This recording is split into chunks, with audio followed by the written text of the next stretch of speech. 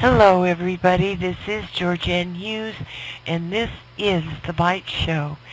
And we're really blessed, believe me, to have Randy Maugans here. He is an independent researcher, a truth seeker, and a broadcaster.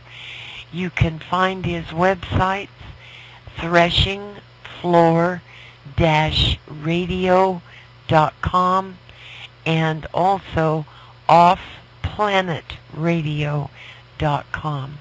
And our last talk was utterly, oh, oh boy, it was really great. The Anunnaki Matrix and the law that is not.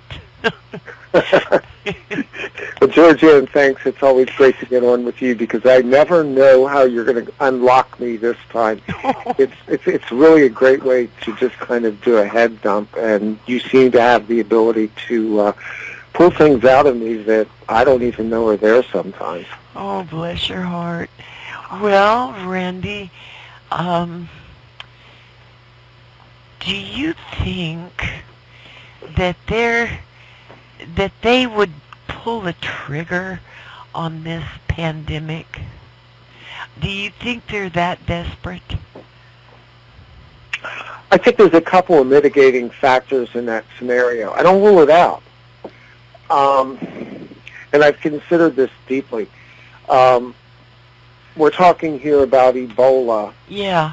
Warnings that are coming from the government uh, basically based on a migration coming out of South Africa, as I understand it, and somehow or another we wind up with Ebola victims in the Carolinas. So I'm not sure what mechanism, what's going on with that, or how people migrating out of South Africa wind up here, except that they are bringing them in in the first place. Yeah, they haven't closed any of the airports, you know. So, you know the question becomes what is their game? What is their plan? Yeah. And when uh, we begin to look at the at the global scene right now, I I think their plan is a plan of obfuscation and an attempt to buy time on a clock that's ticking down on their system. Wow. Well, do you do you mean when you say ticking down? Do you mean that they should already have their new world order in place by now? They should have had their new world order in place uh, in 1998, according to their own clock. Um, we saw the ramifications of that when they hit the World Trade Center in yeah. 9 and we know that they've been furiously grasping for straws ever since, even as uh, our credibility. And when I say us, I mean the incor- the the uh, Strawman Corporation masquerading as the uh, de facto United States of America Incorporated, which has taken over our government. Yes. You know, it's important to phrase that. People are confused right now about their identities. They're proud to be Americans. They're ashamed to be Americans. Well, the truth of the matter is that the government has been vacant for over 150 years, as nearly as I can tell, the Civil War seems to have marked the start of uh, uh, the government basically being taken over by corporate fascist yes. Vatican interests. Yes, yes. Well, get get more into that, Randy, because this is this is the heart of the topic. I mean, yikes. Well, the banking system that the cabal put together through their agents, the Rothschilds, and you know the City of London, uh, triangulated to the Vatican, triangulated across to Israel, and United States basically became the tin soldier for the rest of the planet. Uh, we got to the Civil War, and through Reconstruction, the 14th Amendment, the um, the Washington, D.C. Organic Act, we began to see the um, appropriation of power because of Congress being vacated. Remember during the Civil War that one of the triggers for the Civil War was the vacating of Congress by the delegates of the southern states. Mm-hmm. This had to do with the election of a bar member named Abraham Lincoln. Yeah. Now, most people get all fuzzy about Lincoln, but they have to remember that the 13th Amendment, the original organic 13th, 13th Amendment of the United States, outright banned the holding of office by anybody in the government. It was not a federal government at that time. It was the government of the United States of America, the people. Um, it banned anyone who held titles of nobility, Yeah. were members of societies, or held uh, cards bearing the registry of the British Office of Regency, uh, which were the courts of the City of London Yes.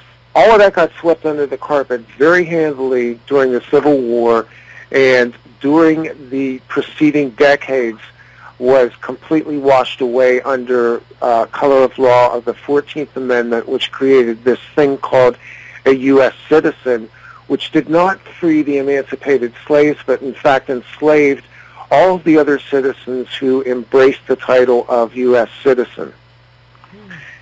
That's the identity crisis that most of us have is that we are people living on the land in a nation that has been under occupation by foreign banking, religious, uh, government, and magisterial interests for 150 years. That's true. That's absolutely true. Well, it's historically true to anybody that wants to do the research on the matter, and there's plenty of work out there that demonstrates this. Yeah. And it's cascaded down to the place where we are today, where this government, since 1947, when it was established under the National Security Act, for reasons that are becoming increasingly apparent, um, has created agencies upon layers of agencies, black, black government projects, psyops, intelligence agencies, um, agencies that are not mandated by any organic act of law in the United States, but were done under the rubric of this reorganization that began in 1933 under Roosevelt Yeah. and that continued through the World War II period. You know, and I'm not showing all of this because these are subjects that require tens of hours to cover with any detail at all. yes, I know. So it's a long answer to the question, but the answer is that what we know right now is that global events are swimming in a slightly different tidal pool right now than the United States. And I refer here, of course, to the alliances that are occurring um, uh, with Russia, Brazil, India, China, South American countries like Brazil. I mentioned Brazil, didn't I? yeah. Anyway, it's the BRICS coalition, basically. With those nations, it looks like right now we're seeing signatories to the BRICS alliance of 134 nations, which seems to also include Germany and France. This, in fact, is the implosion of the U.S. petrol dollar. Yes, it certainly is. And, you know, the way this um, de facto government that we're under has abused the rest of the world, I mean, ugh, Randy, it's, it's just amazing the the abuses. I mean, even um, Germany is chomping at the bit to to trade with Russia. Um, you know, to align differently. I mean, they still have some uh, industry and production. Um, Well, you're talking Germany and Russia, uh, despite their historical differences, Mhm. are very, uh, very much aligned in terms of their cultures, in terms of the fact that they are industrious people, Mhm. and the fact that they have been, in a lot of ways, uh, stalwart defenders of their own realms. We can't say that about our own nation. That's right. The people of this country have been sold down the river by their own government. We have been used and exploited as a people on a scale never seen. We have we have been taxed, devalued, had our land stolen from us. We have stolen from the native people who lived here before us. We have plundered foreign lands in ways that the pirates of Barbary would have never dreamed, GeorgeAnne. Oh, yeah. Oh.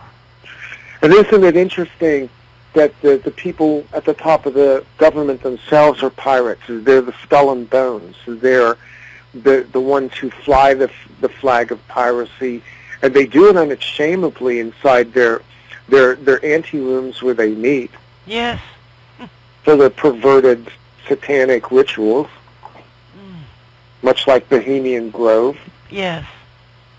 Yes. Uh, so I, I'm thinking, you know, right now they're very desperate, and any any move they make is being watched by the outside world.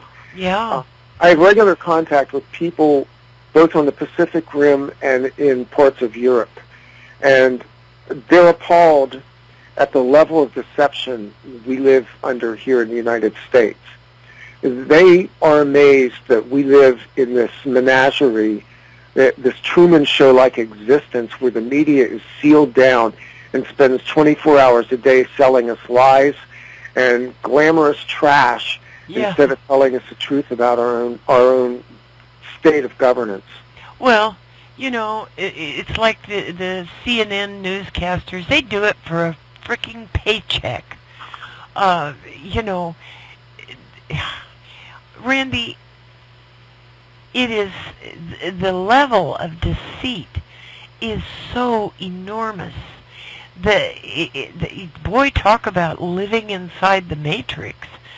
The United States is number one, and it's just I don't know the the people.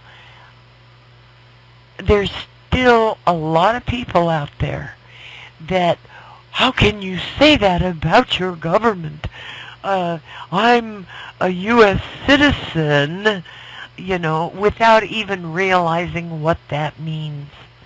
Um, it, it, the deceit is just enormous. Well, and you know, I, I, I'll, grant some slack here for the average person that honestly, genuinely struggles with this. I think you know this.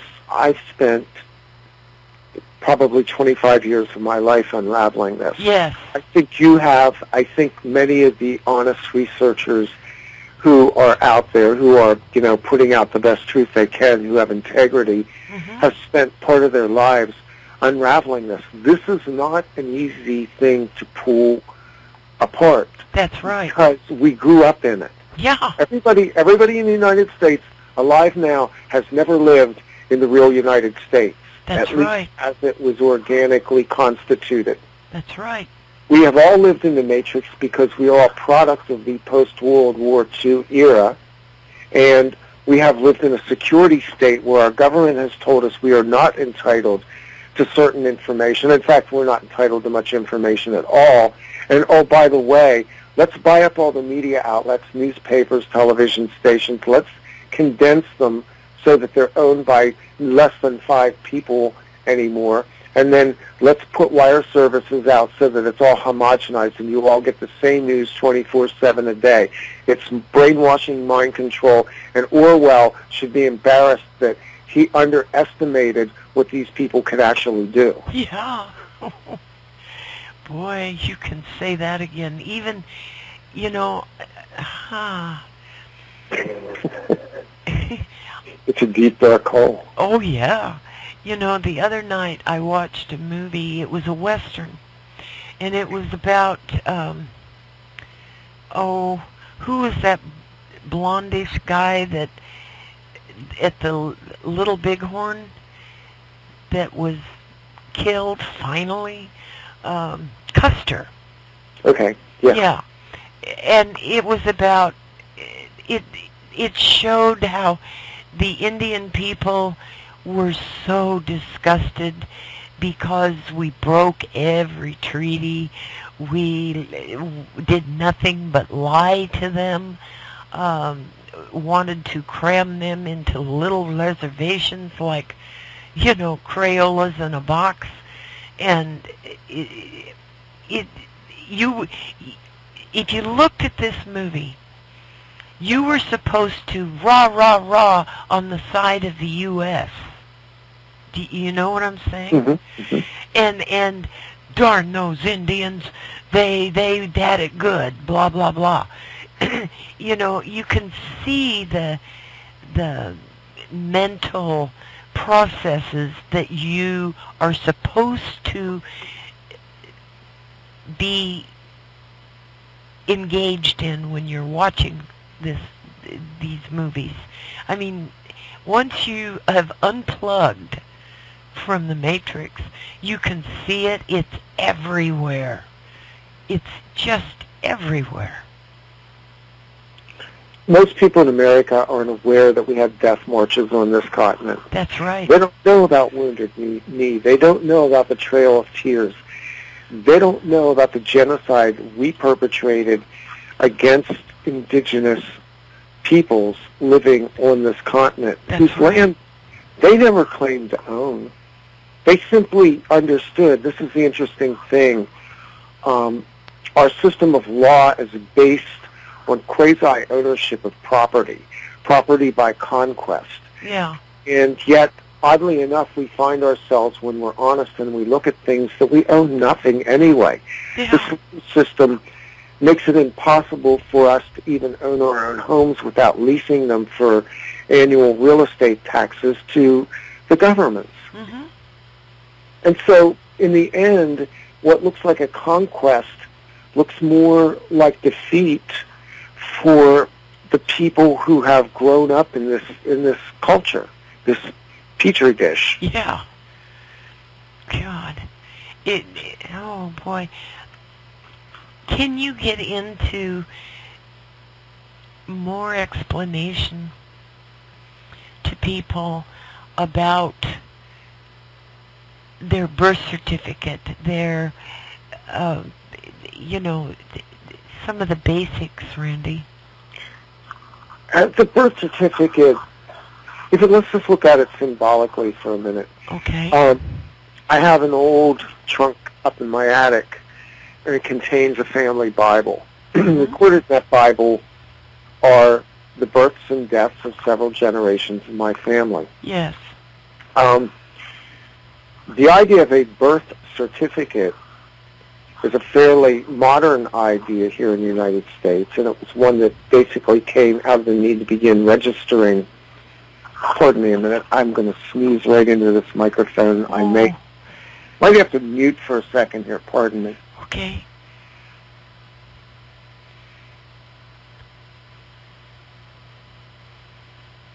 Okay. Okay. Um, so basically, it's a modern idea. I don't have the exact dates in front of me or the data, but um, the idea of the birth certificate was really to begin registering people as instruments of uh, surety. Yeah. Yeah. And, and the marriage certificate is relatively new also. Uh, people never had marriage certificates, and all that does is make the U.S. corporate corporation make it makes you and your children. The government is third party to your relationship.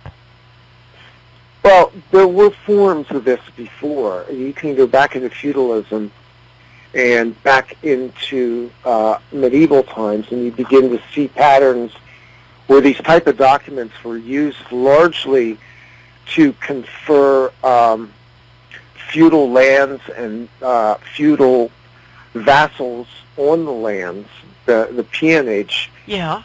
um, interestingly enough, the um, ministers of finance who did that um, were the modern day equivalent of uh, lawyers. The term attorney actually comes from the uh, vassal lords who were called the attorners. And these were the agents who would uh, move ownership of different uh, feudal estates between uh, owners. And so we, we see forms of this in different systems, but it was never formalized in the United States until, uh, I'm guessing, and I'd have to look, but formally I'm betting the system came into being sometime in the 30s or the 40s, around the same time that you start to see marriage licenses and things like that, although I think that's a little earlier. But um, the idea that we record our, our private events, even the idea of the birth, well, think about um, maritime law and think about a birth on a ship. Yeah. And think about everything that goes into that. And you are born on a ship of state and you are given a birth certificate which places you under the authority of the mercantile court system. And when you go to court, if you should ever, uh, and the judge asks you to step forward because you're not on his side of the railing, just say, sir, I cannot board your ship.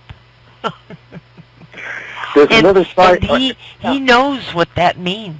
Of course they do. And they're all Freemasons, too, so they understand the symbol, symbolism behind it as well, because that's all part of the Masonic lore yeah. that, that they're steeped into. The biggest trap that I see, and it goes to the birth certificate, is the name.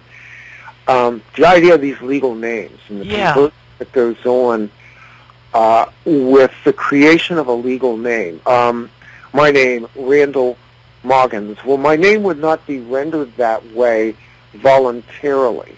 Right. I, the proper name, my first name is Randall, and I am of the family of Maugans as a natural man inhabitant upon the land of where I am presently existing. And even, you know, here, here's the pitfalls. I just went through that sentence. All those words are like stepping over landmines. Because if you say resident, you have created uh, another legal entity. Yeah. Um, inhabitant on the land, that seems to be okay. But see what they've done is they've trapped us with language. They've trapped us with terms. They've taken names given to us, a given name, and they've converted that name using the birth certificate, all capitals letters, which is the way it's rendered now, but hasn't always been. But the conversion happens on the back of the certificate when it is sent off to the World Bank as a surety bond to continue financing the adventures of the monetary system under the Federal Reserve, IMF, and World Bank. Well, I've heard that all of our names are um, patented. They've patented all of our names. I've heard that too. I, I, I have not seen compelling legal proof for that, but um, there may be some truth to that. As to whether it would be a patent or a copyright, I'm not sure. I'm not sure what the purpose is. The purpose may get a little more sinister when you start to look at the collection of DNA. Yeah. Realize that they are compiling huge databases of DNA of us, and that that DNA is unique, and that that DNA is probably being patented, which would go along with this uh, created fictional identity that we have. So they patent our DNA. They now become God, who owns us and claims to have created us. Oh boy. You see, this is, GeorgeAnne, the, the veil that we have lived under. Yes. And there's cracks in it. It's huge. Because we live in a world which has been dominated by dark systems of religious mysticism yeah. for oh, yeah. tens of thousands of years now. Mm-hmm. And there is none more dangerous than this cult of Armageddon that masquerades as Christianity today. The boy, you can say that again. They are out there uh, supporting Israel's genocide of the poor Palestinian people. Uh, my God. And this whole thing, Randy, is alleged to have started over um, uh, the killing of a Jewish boy that people have come out now and written things that this was actually perpetrated by the, the Jewish people themselves in order to um, give the state of the, the Israelis um, a reason to go to war against these Palestinians. And I find that quite plausible because they have been just Tel Aviv has just been rife with we we've got to have a war. We've got to do something. You know, it it's so evil. It's just evil. Well, the the people who live in the Gaza, the Palestinian people, um, they're in the middle of something quite horrible. Mm-hmm. As we all know, all conflicts and wars are financed on both sides by the bankers Yeah. at all times. You know, this goes back many, ma- well, it goes back certainly to a hundred years ago. We'll just start with World War One because it's a convenient book bookmark for us.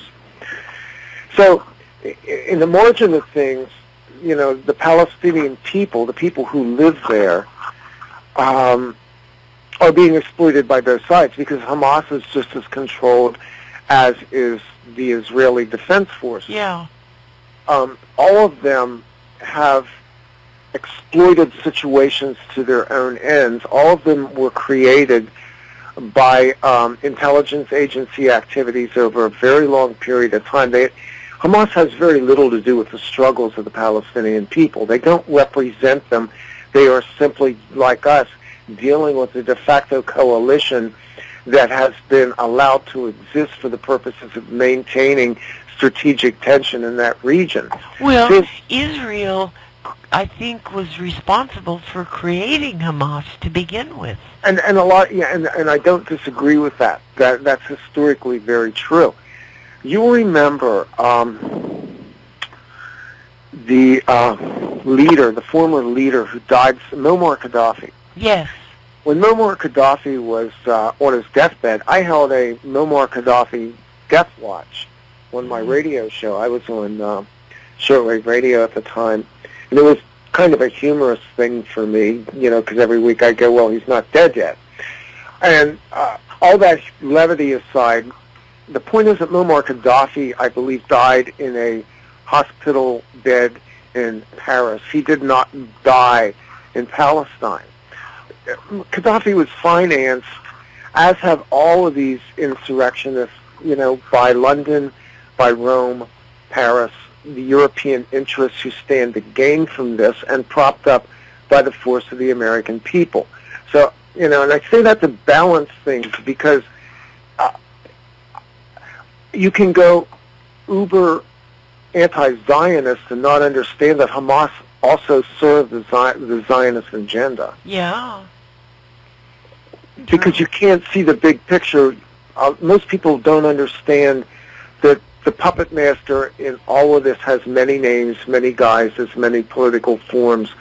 In this case, Zionism is the control grid because it embraces the uh, Abrahamic faith, monotheistic faiths in a way that creates the kind of tension that gives you this ongoing war. I mean, all of our wars now seem to have a, an ignition point centered around Christianity, Judaism, and Islam. Yeah. they sure do. So you, you go back- You meant Gaddafi in Libya, right? Not Palestine. that's right. You're yeah. right. Yeah, Okay. I'm a little been a little fuzzy on uh, on my details on some of that. That's been a long time. So the bottom line is that all of these leaders are set up. They're puppets. They're financed. Um, they're made to be the good guys. They're made to be the bad guys, and all of that's done simultaneously to multiple audiences. And so Hamas, uh, Israeli Defense Forces, you know, they all serve the same master, and in the middle of this, um, it's just collateral damage for the Palestinian people, whose my heart goes out to those people. Oh, mine too, Randy.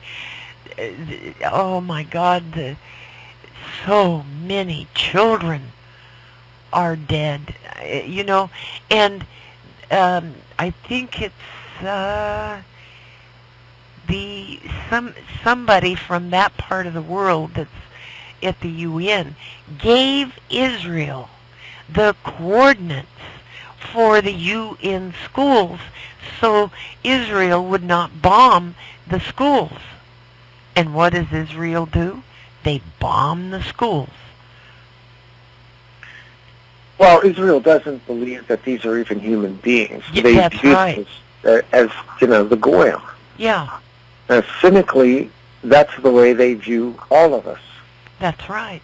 You know, we're, we're, we're this type of conflict to come to our shores, which it may.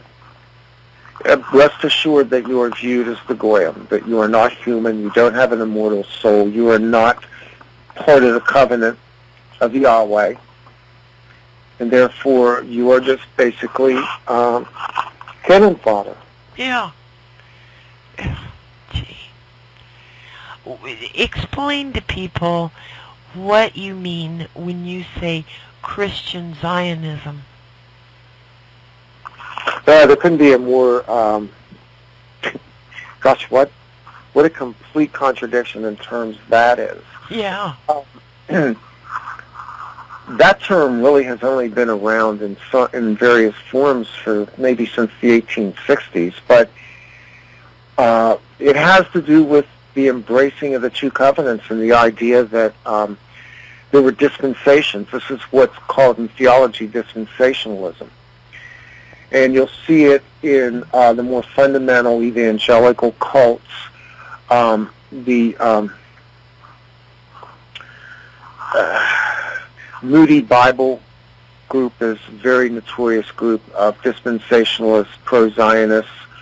Uh, C.I. Scofield, the Scofield Reference Bible, Oh which my gosh, yes. Oh, is very pro-Zionist. yes. The idea that there was this final conflagration that had to occur to convert the Jews to belief in Jesus Christ so that he could return and save everybody and you would get raptured. No, wait a minute, you wouldn't get raptured. Uh, no, wait a minute, the, there's no rapture. Oops. Um, I spent 10 years deconstructing all of this on radio and um, it's confusing because of the way that they I used to think the way they twisted scripture, but what I realize now, GeorgeAnne, is that um, this this book is the pitfall. This this religion that was based on this um, Old Testament, New Testament God that somehow migrates between ages and winds up with a son named Jesus walking the earth, and that they're the same guy No. and the obfuscation that's going on there of maintaining the facade that this God of war was the same God who was the creator and the loving father of humanity. Yeah. so Zionism is basically a political movement. It, it you know, was formalized by uh, Theodore Herzl in 1891, I think. Uh, the book Der Judenstaat, or the Jewish State, where Herzl stated that he saw Israel returning to its lands as a socialist state. oh, So that makes Herzl contemporaneous with uh, Engels and Marx in the creation of uh, Marxist socialism. gee. How anybody can believe in a favorite people, God's people, it makes God out to be a freaking racist. Mhm. You know, the God of, of their Bible. Gee. Uh, it, it just doesn't make any sense to me at all, Randy. Well, almost all theology seems to have a modern, the monotheistic theologies all have this. yeah, This idea of the chosen people. Islam has it, Judaism has it, Christianity has it. hmm And I spent years on this trying, and I look, GeorgeAnne, I did seven or eight years on a constant thread examining the book of Revelation, the Old Testament books of Daniel, Ezekiel. Um, we did, we generated thousands of hours of airtime. We generated thousands of pages of documentation. In the end, I, I, I had this moment when I looked at it and I went, this is confusion. Yes, This- it is. Um, you can make this say anything you want it to say. hmm And then you have to, if you're honest, step back. And this is where you're going to find out if you're a spiritual person or if you are a zombie attempting to follow what I call the Armageddon script. Yeah. Because you don't have to be a Christian to follow this script. You're already written into it. They are writing it. Uh, I just made this statement on Facebook today. I intercepted a group of people who have tried to continue the work that I abandoned and uh, good grief, arguing about prophecies in the New Testament and the Old Testament Oh. and who's chosen and what's going to happen. And so I finally took the gloves off and I said, look, there is no prophecy in the Bible. This is a script that was written. Yes. This is a script that's being played out, and you are part of it because you are a part of believing that you are chosen and that somebody else is destined to go to hell or be destroyed or have their head cut off or whatever the hell these people believe. Yeah. But it's not compassionate, it's not loving, it's not solving anything, and it is contributing to the bloodshed and genocide that has spread over this globe for over 2,000 years now as a result of this bloody religion. Yeah, that's right. Well, Randy, I have stated very plainly that anybody who calls themselves a Christian and is supporting Israel is immoral. They are actually immoral. Not amoral, immoral. Because the activities of Israel are totally, totally vicious, genocidal. It's, oh my God. Well, there are thousands of Jewish people that would agree with you. The Yes. Orthodox Jews, the Hasidic Jews, certainly agree with you. Yeah. They have repeatedly said there will not be a state of Israel until Messiah comes. hmm And that is their belief system. Yes. And for having said that, whatever they believe or don't believe about a Messiah that's come or has been or is not, I'm not willing to argue with them because they're not out there attempting to establish a state. They're not out there attempting to make themselves better than everybody else. They are not the Zionists. They may actually be the real remnant Jews on the face of the planet, while the rest of them appear to be, uh, I'm not sure what they are. Well, yeah, they Yeah, no, they I- say they're Jews but are not. Yeah, well, exactly. yeah. Ashkenazi, I mean, we, we have so much interbreeding and migration and convoluted history. But what scares me the most about this, GeorgeAnne, is a thought that I've had for quite a while now. Okay. that we're we're in a loop in terms of our timelines and our history. Yeah. And there are many people who have sensed this. Now, you know, the New Age community doesn't get this right, but in some ways they're closer than the Christians. The Christians know nothing. Yeah. It's very clear to me that this planet, this solar system, and in fact this galaxy are moving. And that we are moving into a shift phase. Yes. That shift phase, to me, marks a, a change in the ages. Our, our best records indicate, GeorgeAnne, that we've been through age shifts before, that the Earth is much, much, much older than, um, well, Christianity says it's 6,000 years. I go, I right in my backyard older than that. Are you kidding me? Come on Yeah. right? There's petroglyphs out there that, that directly say that. Well, that's the uh, the uh, Bishop Ussher who put that together because he was a biblical literalist, literalist too. yeah. So uh, we're in something that's quite extraordinary and mystical right now. And what is happening is an awakening. What is happening is a shift. The shift is with the earth itself. We're going through earth changes.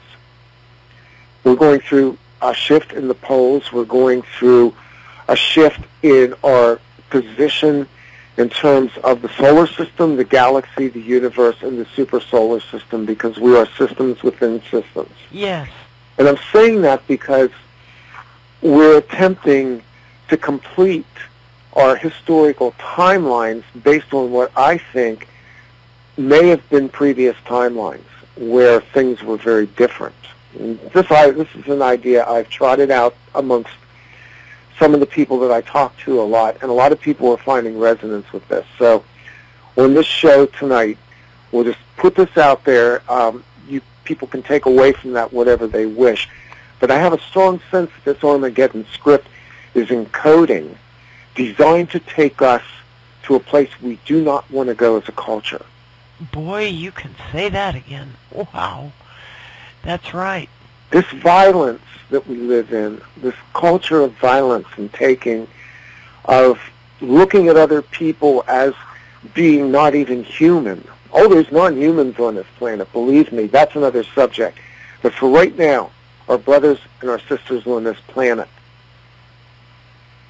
we look at them as enemies. We look at them as property. We look at them as something to be mowed under by a tank. For what? For conquest and greed and finance and money? It's an old script. Yes, it is. Script of the fallen. Mm. It's the script of the Archons, the Anunnaki, whatever you want to call them.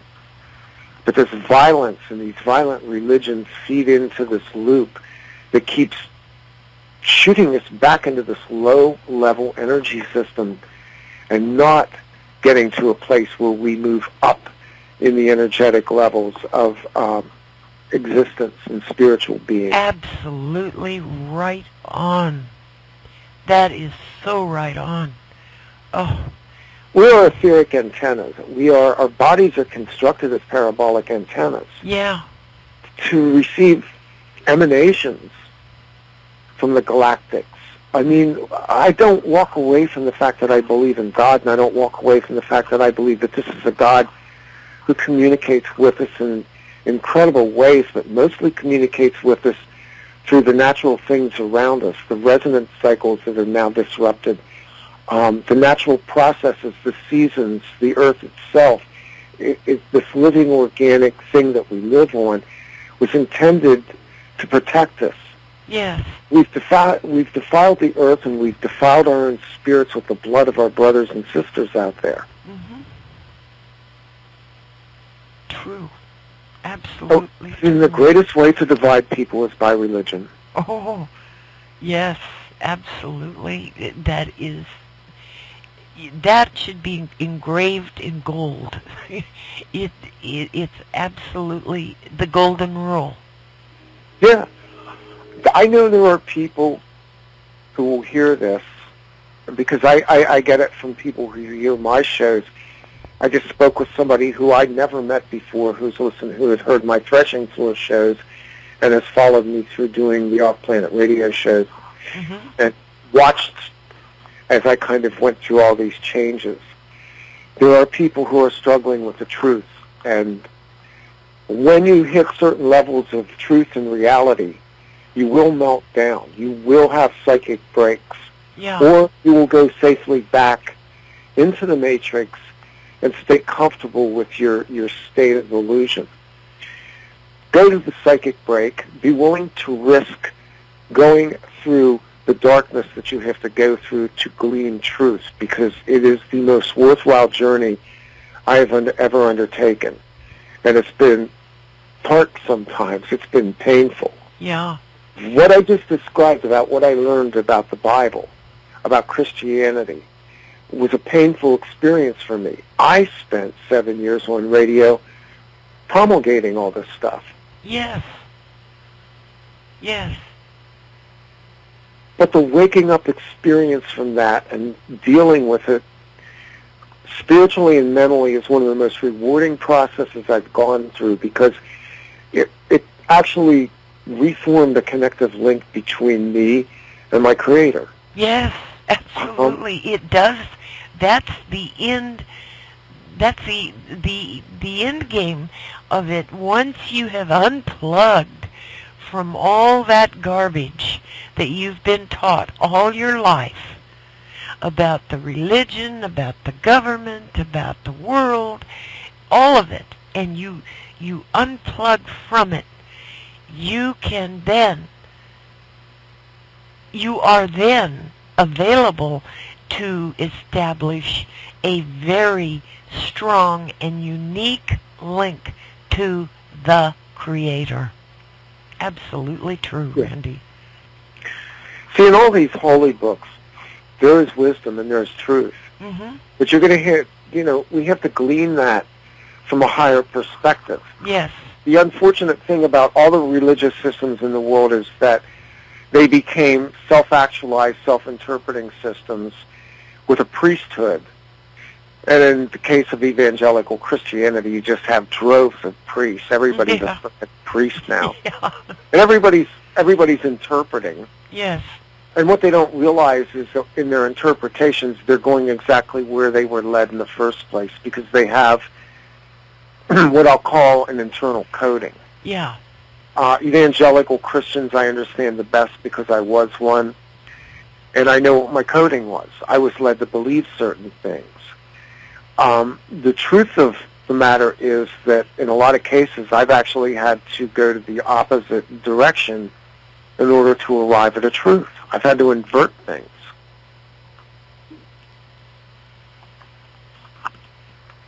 Well, you have done a splendid job of freeing a lot of people from that horror that you know when you talk about the cycles and things like that I don't know how people cannot see it.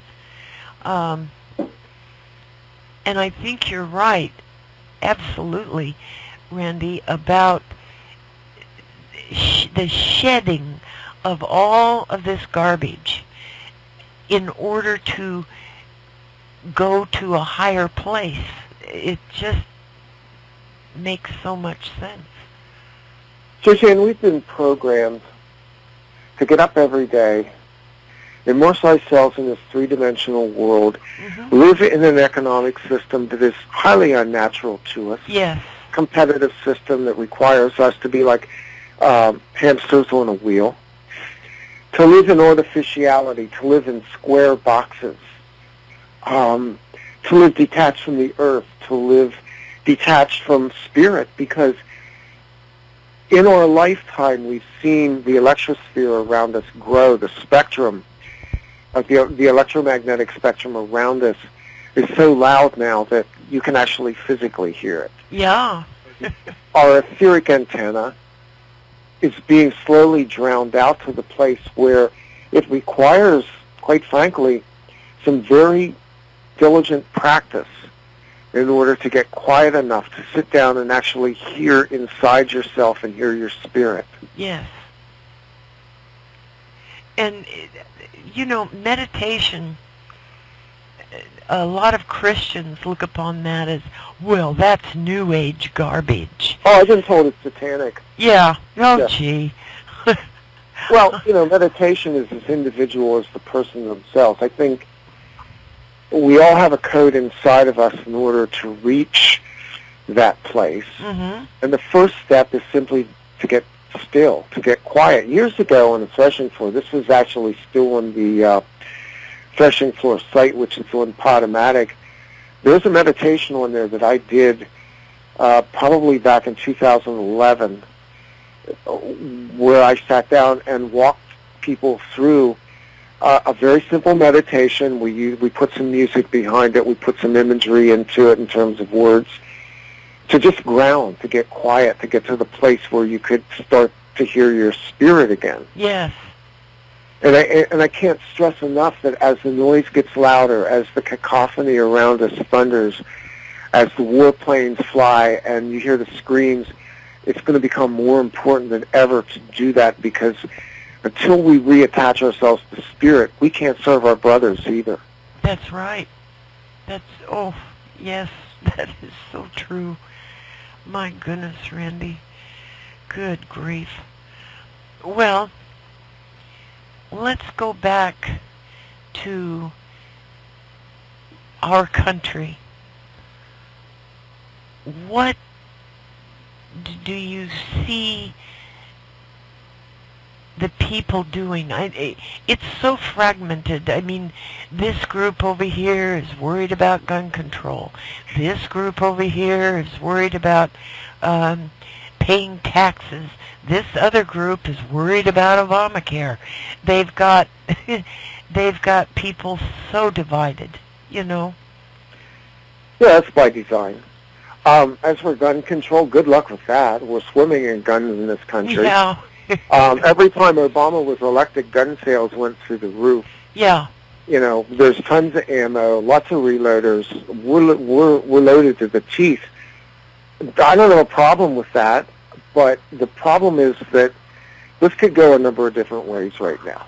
Okay. And probably one of the worst case scenarios would be that in order to get back our organically constituted, and I'm using these terms loosely because maybe in another show we can go through um, the Constitution, the Magna Carta, and all the documents, and I'll explain what I believe about them. But, you know, as a frame of reference, let's just say the organically constituted United States as it once was, which was a small U, United States of mm-hmm. America, the individual states being each unto themselves a sovereign state.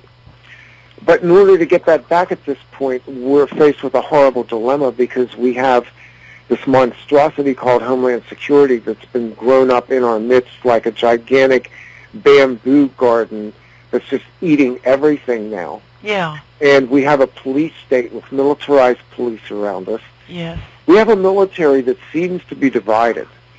Um, the word is that within the Pentagon, the generals are not happy about the direction of the country. They understand the issues. They actually hold the power to remove Barack Obama and not the Congress. Mm-hmm. Um, Barack Obama and every other chief executive officer of the corporate United States has claimed he is the uh, commander-in-chief of the military, which I believe would place him under the authority of judge advocate generals in Washington, D.C. Yeah. So within the Pentagon, it's been said for a number of years by insiders that there are those in the Pentagon that are well aware of this, simply waiting for the will of the people to move to a, a point where they would be enabled to act, meaning they would have sufficient popular support to be able to go ahead and do what they legally and constitutionally probably can do. Yeah. But in doing so, we risk a civil war. Yes. Civil War this time has to do with the armed citizenry of the country versus the armed police state of this country, which would include Homeland Security, certain military factions, and the militarized police with boots on the ground in every state, county, and municipality. Hmm.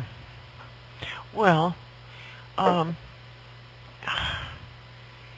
that that's true, Randy, but there are a lot of people that would stand behind the removal of a lot of the politicians and the president, uh, you know, the whole nine yards. It's not just the showcase president. The Israel lobby owns most of the congressmen. Of course I do. Um, you, the control grid for Israel is immense. I mean, you have AIPAC, which is deeply entrenched. Yes. You have uh, the um, Jewish Defense League. You have B'nai B'rith, which is highly financed, which is part of the Eastern establishment that nobody really talks about anymore. Yeah. These were the things that the John Birch Society talked about when I was a kid that my father used to tell me about. Yeah. Um, and it's not only that, but the Zionist overlords are so entrenched through our banking system where they absolutely control everything. I mean, all of our, I, I don't want to sound bigoted, Semitic, or racist, but it's kind of like every time the Federal, pardon me, mm-hmm. Every time the Federal Reserve Chairman is now appointed, I have to ask myself what Jew is going to be next. That's right. This time we got the female Jew. Yeah. So the answer is that, yeah, they are the overlords. They are the serpent gods of the financial, economic, political, religious system. Gosh. Sounds pretty horrible when you when you put it that way. I'm being blunt for a reason because I need to whack people over the head with this reality. Yeah. Well, uh, you know, they can say you're anti-Semitic and you're this and you're that. Well, showing the Palestinian people as anti-Semitic, let's not forget they are Semites too. That's right. That's right. And they probably have more Semitic blood in them than these Jews that call themselves Jews but are not Jews. Yeah, and you know the point isn't the bloodline That's because right. I, I, I, that's not really what this is about. Again, as spiritual people, That's you see, right. they've planted that meme in us: the idea of chosen people, the idea that one race is better than another. You know, the Aryan Brotherhood, the uh, Islamic seed, the serpent seed, all of that. There are in our world those who are of other bloodlines who do not belong to the human race. There are beings here who are soulless, who are archonic, and they are the ones that we should be turning against in a unified way as a race called human beings. Yes.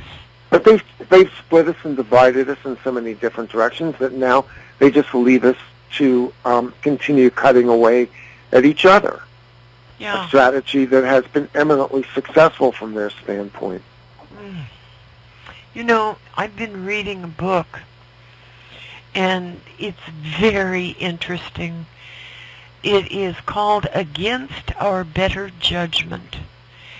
The Hidden History of How the U.S. was used to create Israel. And it's the author is Alison Weir, W-E-I-R. It is, my goodness, You know, the U.S. was used to create it. yes, And in fact, even in the hours leading up to the signing off of uh, the establishment of the um, formalization of the State of Israel, Harry Truman, a 33rd degree Mason, was not comfortable with this. wow, It was basically, once again, they had their puppet in office who had to sign because he has oaths. He may have been blackmailed. Who knows what was going on? But they got their way. Just like they forced Wilson into World War One, how they forced the Federal Reserve Act through. They've always got their puppet in the office who will sign off. But yeah, I mean, this was never a fait accompli. The United States should have never entered into this. And I'm sure this book probably breaks out a lot more detail than I have right now. Well, it it starts off with. It's very interesting, Randy. A small group of men who believe in this idea, you know, and they gather support slowly over the years, and it- gives names, dates, places, um, their meetings. How this was done is just amazing. It is amazing. Absolutely. Oh. And if people would just get this book, it's not all that expensive. It's not a big book, but it is packed with facts and information against our better judgment.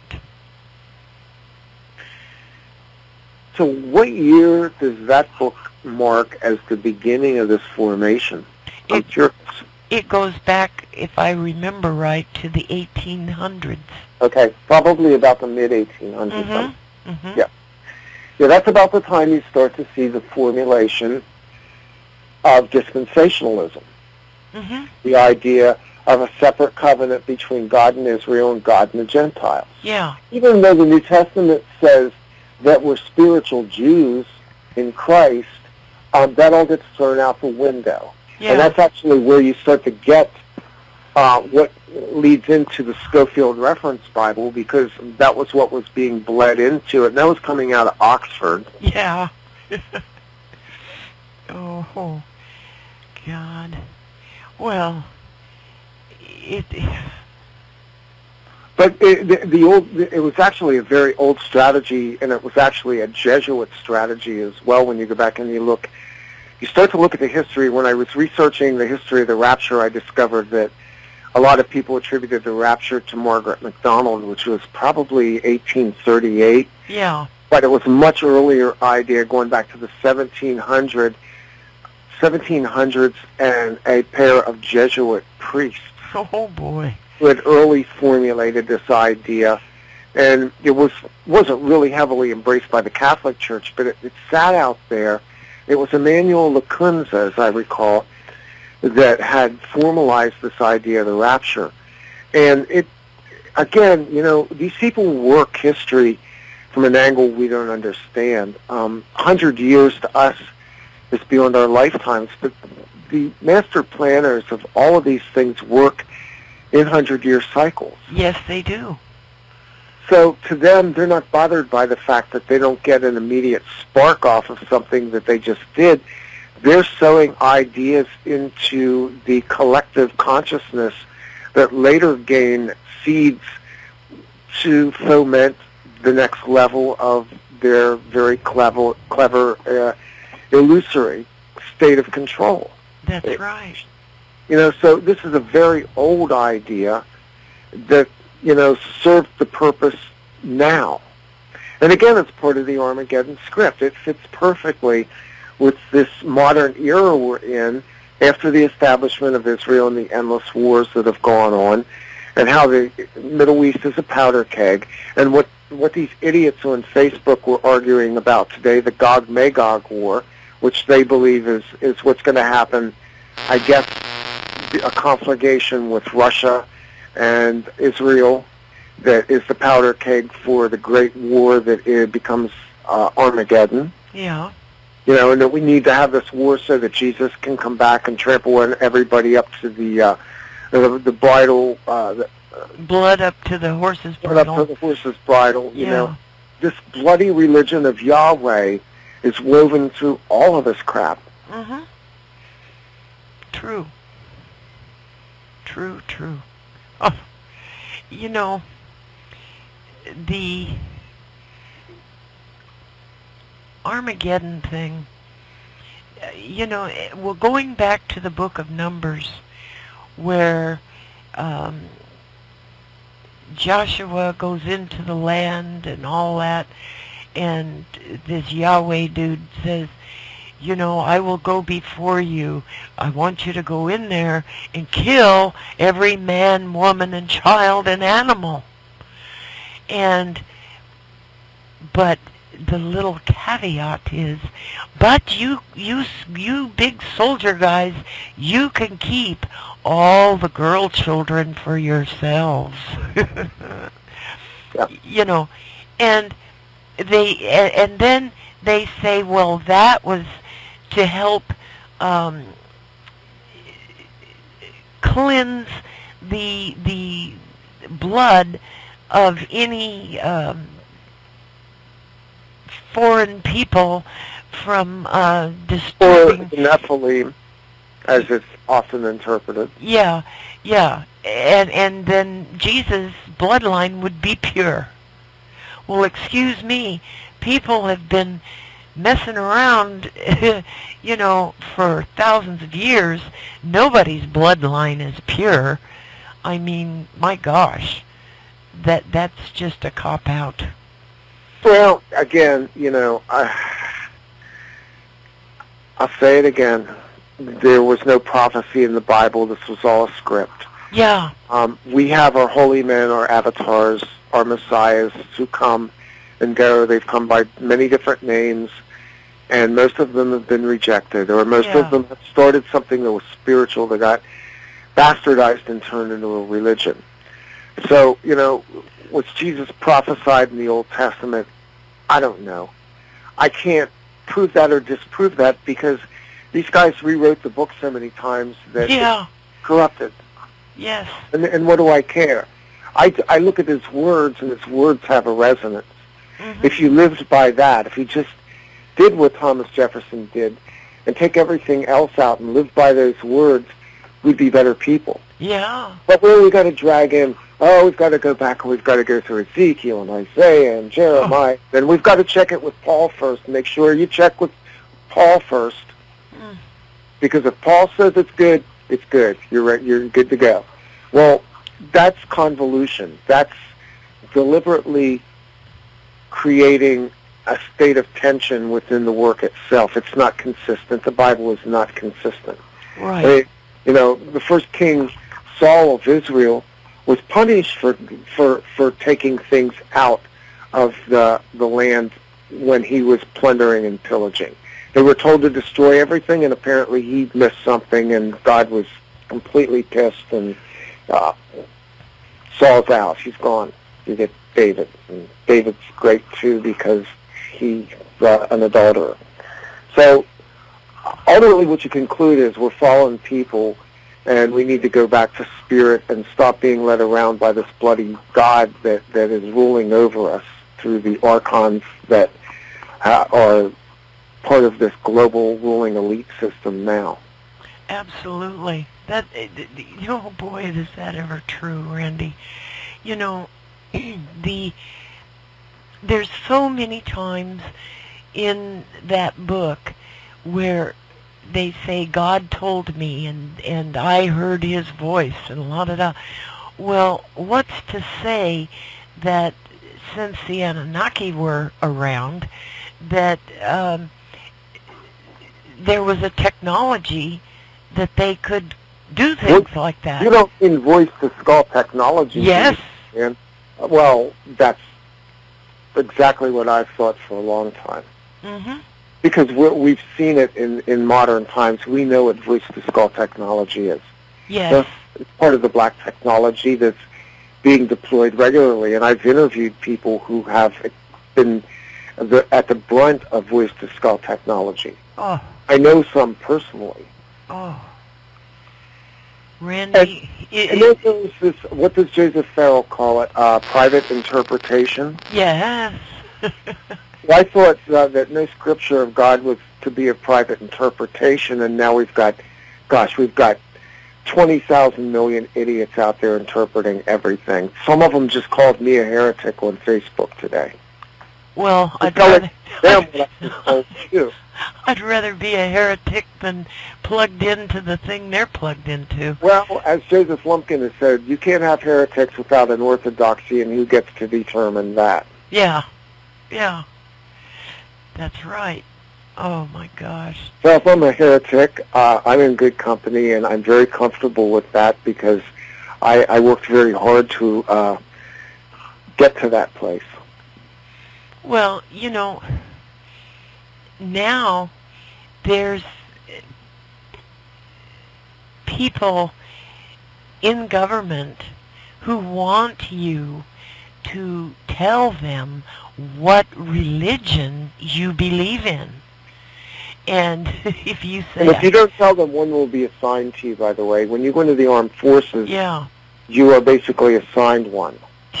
If you don't give them one, they'll they'll they'll tell you you're a Protestant or a Catholic or you know they need to know that because there's authority within the religious structure.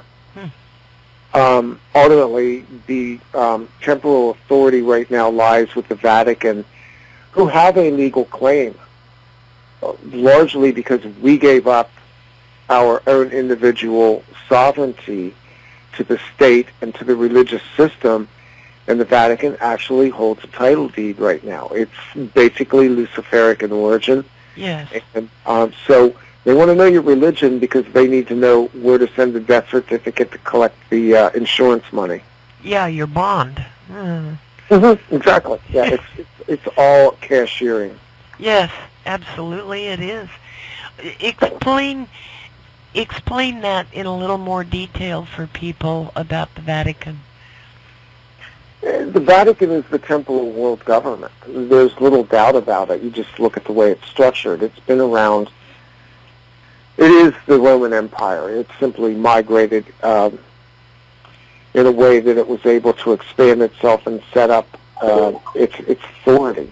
hmm It not only believes that it's constituted to be the global government, but in fact it is.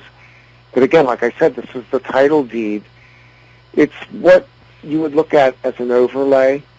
They've created grids. Um, they did it by expansion, by conquest, by bloodlust, Yes. pillaging. Uh, they built their churches on ley lines. They established strategic outposts on every continent. and they were able to uh, therefore take dominion. And all the governments of the world ultimately go, I mean, every president, every prime minister of every nation goes to meet the Pope and kiss his ring. Even the uh, Arab potentates have done that. Of course they do. Mm. Of course they do. Because that is the, the sphere of global govern, governance at this time. And, you know, so when we go back and we talk about taking our country back, the question is, um, did we ever really have it? Yeah. Um, you know, I, I I posted this on my YouTube page a few weeks ago. I came across a video of the comedian Dick Gregory. Those people who are of a certain age will remember Dick Gregory. He was popular in the 60s. Yeah. Black comedian, one of the real, uh, probably even before George Carlin, uh, a comedian who was actually awake and aware and being relevant. He was arrested. He was arrested at protests over the Vietnam War, and I believe he also spent time in prison from uh, IRS uh, transactions. But Dick Gregory said something in the course of this video, and when he said it, I went, he's absolutely right. He was talking about how Americans want to take their country back, um, how America at one time was good, but then it just all went to hell. And he looked straight into the camera, dead, dead serious, deadpan face, and goes, "Let me tell you something. It was never good You're right. because it's an artificial construct. Yes. The idea of America is that it is a spiritual land, just as that temporal governmental overlay at the Vatican Mm. is an artifice. It's a corporation. And the only way we're ever going to separate all this is when we take back our own identities, our own names, our own spiritual identity, and we begin to discern the land from what has been paved over it and had signage put on it, and men have been allowed to put down ordinances and continue to control their fellow man under the notion that there are nobility, that there are superior or higher powers Yeah. of governance. This is not going to be a political or a war action. It is a consciousness.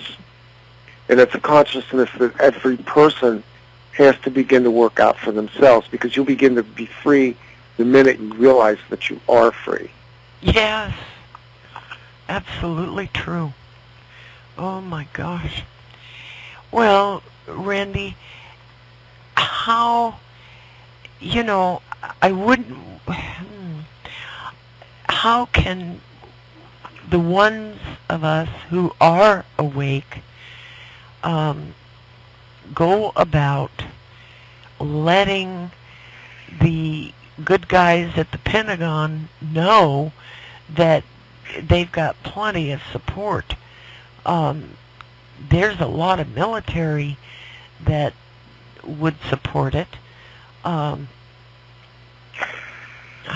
There are, uh, in every state, militias. yes. And I don't talk about this a whole lot, but I will just say this. Those who are ready will know where to look. There are militias out there. They are legal. They are constitutional. They are not gun nuts. They are not insurrectionists. hmm They are part of what you would call the, um, what was the term in the Constitution? A well-regulated Regulated. militia. Yes. Well, the well-regulated militia are the citizens. Yes. See, the badly regulated militia is what we have now in the military-industrial complex. Oh boy, yeah. But even more than this, you have to go into spirit. And you have to make decisions every day, and some of them are painful and horrible. You become responsible for what you know. hmm Um, So we start making decisions little by little. Uh, where we bank, how we spend our money, what we give our attention to, how far we're willing to knuckle under when the pressure comes down from the would-be as if so-called police officers. Oh, yeah. When they demand to see your papers, when they want to use force to make you do something, when they insist that you must have an ID in order to be able to travel. Um, it becomes a daily process of decision making, and you have to pick your battles carefully. Mm-hmm. There are people who are in prison right now because they blindly followed people who were part of uh, sovereign citizen movements. Yeah. You know, they went foolishly and recklessly off into that good night, filing papers they should have never filed, going into courts. I don't recommend going into the courts because they're courts of equity. They are not common law courts, and they are certainly not courts that have jurisdiction over um, divine, living, breathing souls. It wouldn't be my choice, but if you wind up there, then that's another script altogether. So we just make our decisions day by day now. And I don't believe we were left here to die in the darkness. I believe that we are the light, and I think that each person who follows their individual spirit will find direction. Well, say supposing someone um, doesn't make their house payments and they refuse to contract with the alleged mortgager. Um, how does that play out, Randy? Well, again, this is where you know you have to start digging deep, and it, there's a lot of information and misinformation out there. There is no contract. Right. Anybody that ever examines examines a mortgage document, if they look at it holistically, they're going to understand there's no contract because there's only one conclusion you can make when you look at these contracts is that there's only one signature on the paper. Yeah, Corporation cannot sign a contract. that's right. corporation cannot create a contract. A corporation cannot be the um, uh, guarantor of a loan because a corporation has no ability to energetically create anything. Yeah. We are the guarantor and the originator of all contracts. And if you go back and you look at the um, joint congressional bills, and I don't have the numbers in front of me, sorry, uh, H, HJR, but I don't remember the numbers now. In 1933, you're going to find out that the Bankruptcy Act mandated that the government was to be the trustee for the American people, which means that we were the beneficiaries of the trust resulting from the bankruptcy.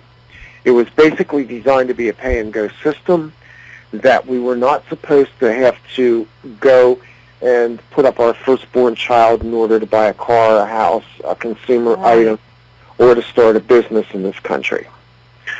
So the contract law, as we see it today, is basically skewed towards the artifice, which is corporations, and there is no living, creative being behind them. Now, that sounds abstract and spiritual and all nice, but you go, what the hell do I do with that? Sit down and read your documents, and then ask for original documents. I guarantee you that no bank is holding the papers because they sold them.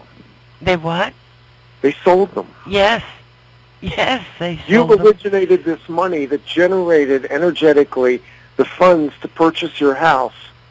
They told you that you were a debtor in parentheses at the bottom of a contract where they converted your name on a dotted line from a living human soul who signs their names in ink in mixed case letters into an all capitals uh, artifice because the artifice cannot do business with the living soul. Right.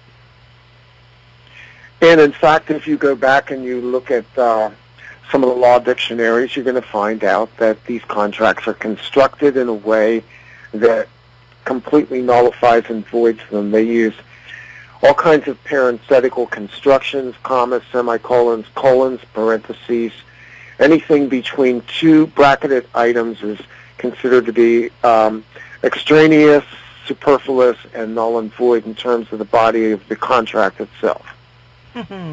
So maybe that helps somebody out there to read a contract and understand that it's not a contract and that you're not a debtor.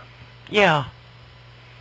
Yeah. Well, some mortgage companies, um, you'll send um, paperwork asking for for information, asking for the wet ink contract, and they will send back to you um, a letter stating that they do not recognize your paperwork. Of course they don't. No, they don't. Because they can't. You see, the marvelous thing about it is it's so compartmentalized that you have layers of idiots. yes. Um, the only people that you, okay, I'll give you an example of how I would deal with situations like this and what I do now. I do not deal with the corporation. I do not deal with anybody who calls themselves the president, vice president, secretary, CEO, or any other title, usually in all capital letters. Mhm. Locate the living being, the proper name, mixed case letters. Generally, you'll either want the CEO or the CFO or the um, the person who's using the title of uh, counsel, but you do not want to address your correspondence to them as that. You want to send it to that living soul. Yes. Um, at some level of these corporations, they do know this, but it is well hidden. It is not talked about. And once they realize that you know this, uh, you just change the game. Wow. That's very important information. Well, this is actually the material that is still being developed. Um, this is actually the determination information that's on my website, and the website is offplanetmedia.net for this determination. Um, that was developed by the soul in Arizona who went by the name Living Being for our purposes, and there's recordings of him on the website. I'm sad to say that he passed away several weeks ago, Oh no. and uh, I've been in contact with his group and with the uh, his assistant, and we're going to continue to do the work. We're going to continue to do the information. I've basically been entrusted to publicly try to break this material out. I, I'm humbled by that task. yes. But I will tell you that within those recordings, um, they're difficult to hear. He was aged when these recordings were made, and his voice is very difficult sometimes to parse. But uh, the recordings I put up on the website are as high quality as I can post online. And it's, you know, there's three hours of sessions where he breaks out the details of his discovery regarding things like contracts, the Federal Reserve, the tax system, the historical underpinnings of uh, documents like the Magna Carta, the Constitution, and our modern-day statutory law system. Mm. And this is information that certainly is not uh, difficult, but it's a starting point. There's a resonance to it. Yes. Uh, unfortunately, there's no way to do a how-to manual on this. Everybody's kind of got a different thing. My situation's different than yours. It's different than listeners out there. But the information's out there. The truth can't be suppressed, GeorgeAnne. We know this. Oh yeah. I mean, it's bloody inconvenient that the Dead Sea Scrolls just happen to appear right around. Oh, that's right. It was 1947, wasn't it? Mm-hmm. Uh, and they withheld them for a long time. still withholding. There's, there's Yeah. another, you know. But we have, you know, even in terms of these scriptures, um, truth can't be suppressed. It will crawl up out of the rocks in the ground to be seen. It's Yeah. not to be hidden. Mhm. So even though information is difficult to find, difficult to understand, um, it's still there. Well, And I've tasked myself to try and bring some of this stuff out. well, many blessings to you for the work that you're doing, Randy. It's it is immensely important, and I I want to give you kind of my take. And it, it's and, and tell me what you think. Okay, you go in, you buy a house, you sign a contract. They uh, have it for a little while. You make three or four or five payments, and then they sell the contract to somebody else. Well, the original person that you had the contract with accessed your bond and was totally paid off mm-hmm. for the house. And then they sold it to someone else that you have to continue making payments to. Well, there never you know, was. A, there it, never it's a was big scam. There never was any debt. You originated the value of that transaction upon your signature hmm because you're the only person who could create that. hmm Uh, The corporations don't own anything. They don't control anything. This is a myth. This is how you have the type of massive, massive scandalous uh, bond markets, collapses of economies, because you can write derivatives all day on a piece of paper. Yeah. You can sell it a thousand times and then turn it into bonds and sell it to foreign nations Yeah. and that as collateral for the IMF to go in and take over the natural resources of a country Yeah. under the rubric of being corporations. And that's the bondage of the land again. Boom, we're right back in debt again. And how did we do it? We created the contracts originally. Oh. Boy. No king, no pope, no banker, no Zionist reptilian overlord has the right to create anything because only living, breathing, spirit-filled souls can create. God creates, and we are the children of God. All things are created by us and for us. Yes. Now, you want theology? That's real theology. Yes, it is. Oh boy, you're not kidding. If I sound kind of bold and kind of aggressive about this, it's because we don't have a lot of time anymore. Right. people need to wake up, and they need somebody to kick them in the butt sometimes and say, look, it's time to wake up now and get real. Because if you don't take your power back, somebody's going to take it from you, and it's going to cost you your life, and it's going to cost you the lives of your your children. Mm. Randy, you know, numerous people are saying um, if if people think it's bad now, just wait for what's coming. It will be a thousand times worse. And they they never describe what this worse is supposed to be. What, what are they talking about? Well, they're creating imaginations that they want you to run with. Hmm? You know, because worse to you might not be so bad for somebody else. I mean, it's all relative. That's a, that's a, just a doomsday effect. It's part of the Armageddon scripture, Jan. It's kind of like, well, what's worse than the world blowing up and everybody being killed? Oh, well, let's turn their seas to blood and let's slowly poison them, and then we'll we'll throw them in hell for like, oh, I don't know, a couple of eternities, and we'll torture them. How's that work out for you? Oh boy. See, uh, tomorrow can be and look like whatever we want it to look like.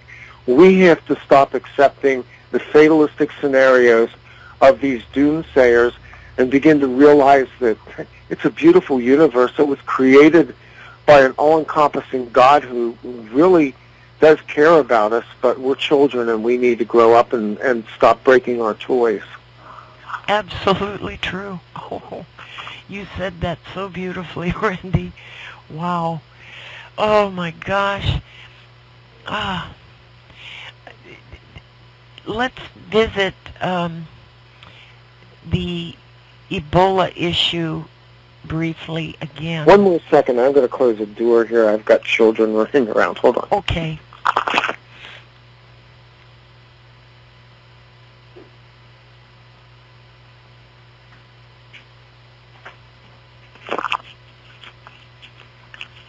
I apologize for that. That's okay. I have I dogs that I have to let in Yeah, and my- out. My cat pushed my door open. oh. There was noise coming from another room. Uh, the Ebola. Yeah, um, there is a document that shows that the United States Corporation owns the patent And don't you know, uh, Monsanto has jumped on it and wants to uh, back vaccine for it. well, there's your answer right there. Yeah. Uh, problem, problem, solution. Mm-hmm. Um, so there's a vaccine for it. Well, I would have guessed that because that's really what they want to do, is they want to vaccine everybody. Mm-hmm. Because they were basically looking to complete the architecture of terraforming. This is my opinion. There's science out there that backs this, but I, I'm, I'm speculating a bit here. Um, the terraforming of the earth, the chemtrailing, the, the things that man has done to the planet, HAARP, um, all the vaccines, what they're basically doing is sewing binary nanites into our system and into our bodies as a basically terminator control system. So my guess is that they want to aggressively vaccinate people. They need a pretext to do that. They also want to scare people, and nothing scarier than dying while you're bleeding out of your eyes. So, yeah. uh, you know, let's let's pick again the imaginations of man. Um, I'll go back to the words of Jesus. Um, you can drink deadly poisons and not die. You can handle serpents and not be bitten. Right. We are living under the spell of these overlords which continue to convince us that they have the ability to kill us. Mm-hmm. And yet somehow mankind has continued to prosper and thrive over eons despite the fact that he has been constantly, it's almost like, it's like spraying roaches in a kitchen and they just keep coming back. I mean, that, that, that's kind of a really crude view of humanity in terms of our resilience as a race. Yes. And again, you know, there's enough people out there that in their imaginations create the scenario to bring it into fruition. Is it a threat? Yes. Like I said, I think to you off air tonight, they can maybe kill a few hundred thousand of us if they airborne the Ebola into the chemtrail system or the water supplies or whatever carrier they, they choose. Mm-hmm. But they risk what happens with those who survive and wake up and realize what has been done to them Oh yeah. by this government. Yeah. Because if you want to see a bloody insurrection and a civil war, that will be what happens in America once that information comes out. And that information is already out there. It's being sown across the internet as we speak. It has been for the last week. Yes.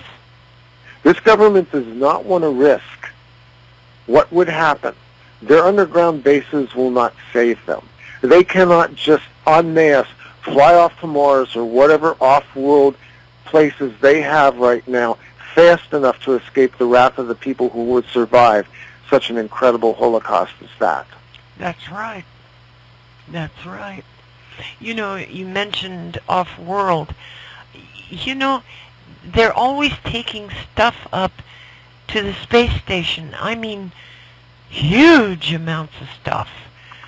What in the world are they doing, Randy? I Oh, they've been doing this for decades. We've been in space long before we had a space program. yeah, that's true. And I, and and I think, you know, if you don't know about that, I would point listeners to go to um, secretspaceprogram.org, and you can find online videos there that were done at a conference in San Mateo, California, back in July, that will give you all the evidence that indicates that people like Joseph Farrell, Catherine Austin Fitts, and a lot of other high uh, profile researchers have talked about the fact that our governments governments have in fact had off-world presence secret space program for decades, probably since the, the, the 30s or 40s.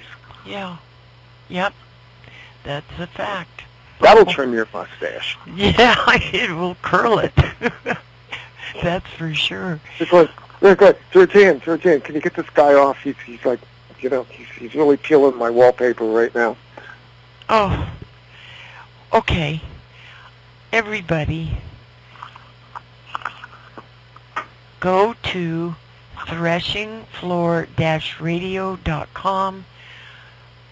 and also offplanetradio.com and listen to Randy Maugans. Very brilliant man. And also, the audio files that we're working on are at the Byte Show. Go to the audio library, click on Randy Maugans' name, and the page will open up. So God bless everybody out there that's listening. Good night. Good night.